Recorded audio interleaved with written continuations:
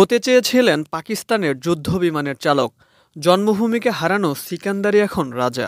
সিকান্দার রাজার স্বপ্ন ছিল পাকিস্তানের বিমান বাহিনীতে প্রশিক্ষণ নিয়ে যুদ্ধবিমানের চালক হবেন, কিন্তু সেটা আর হয়ে ওঠেনি। জীবন রাজাকে নিয়ে গেছে অন্য এক পথে। জীবন যদি রুটিন মেনে চলতো, তাহলে হয়তো পার্থে বল হাতে পাকিস্তানকে শেষ করতে নয়।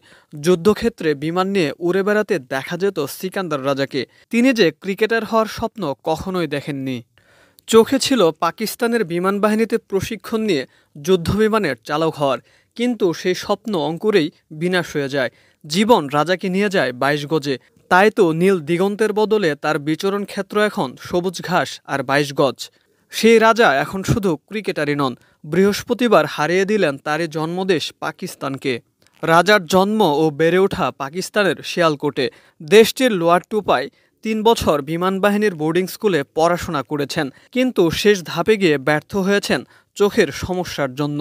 জিম্বাবুয়ের এই অলরাউন্ডারের বাইলেন্ট্রিক্যাল ওপাসিটি রয়েছে। বেশি উচ্চতায় বিমান উড়ানোর সময় হঠাৎ করে সামনে কোনো বস্তু চলে আসলে রাজা সেটি দেখতে পাবেন না। সেখানকার প্রশিক্ষকরা রাজাকে সান্ত্বনা দিয়ে বিমান বাহিনীতে অন্য কাজ করতে বলেন। তখন রাজা বলেন, আমি এখানে যুদ্ধ বিমানের পাইলট হতে এসেছি। সেটা হতে না পারলে এখানে থাকার দরকার নেই। তারপর রাজা ঠিক করে বসেন সফটওয়্যার ইঞ্জিনিয়ার হবেন। রাজার পরিবার তখন চলে যায় জিম্বাবুয়েতে। আর রাজা ইঞ্জিনিয়ারিং পড়তে স্কটল্যান্ডের একটি কলেজে ভর্তি হন। সেখানেই রাজার ক্রিকেট খেলা শুরু। তবে কখনোই তিনি পেশাদার ক্রিকেটার হওয়ার স্বপ্ন দেখেননি। ইঞ্জিনিয়ারিং পড়া শেষ করে জিম্বাবুয়েতে ফিরে সেখানেও ক্রিকেট খেলতে থাকেন সিকান্দার রাজা। চমকের শুরুটা সেখানেই। একদিন ক্লাবের সতীর্থদের সাথে অনুশীলন করার সময় দেশটির টি টোয়েন্টি লিগের ক্লাব সাউদার্ন রক্সের চেয়ারম্যানের রাজাকে দেখে চোখ আটকে যায়। বিকাশ অ্যাপে এলো সিটি ইসলামিক সেভিংস। শরিয়া মোতাবেক টাকা জমাই মুনাফাও পাই পরবর্তীতে রাজাকে তার ক্লাবের নেটে যাওয়ার প্রস্তাব দেন। রাজাও না করেননি। পরদিন সকালে সড়কপথে তিন ঘণ্টার জার্নি শেষে অনুশীলনে যান রাজা। প্রথম ম্যাচে সুযোগ পেয়ে ব্যাট হাতে খেললেন চল্লিশ বলে তিরানব্বই রানের ঝড়ো ইনিংস। সেই শুরু। ধীরে ধীরে সুযোগ মিলে যায় জিম্বাবুয়ের জাতীয় দলে খেলার। ওপেনার হিসেবে কেরিয়ার শুরু করলেও ধীরে ধীরে হয়ে ওঠেন মিডল অর্ডারের ভরসার প্রতীক। বছর দুয়েক আগে ম্যালিগন্যান্ট টিউমার ধরা পড়েছিল রাজার।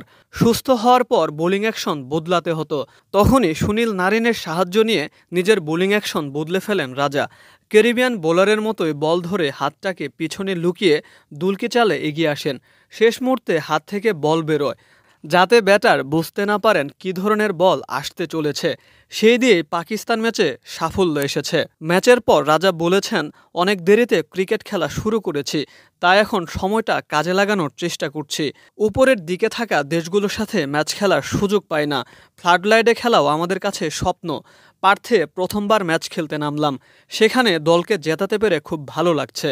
সিকান্দার রাজা জানিয়েছেন, ম্যাচের আগে রিকি পন্টিংয়ের কিছু কথা তাকে অনুপ্রাণিত করেছে।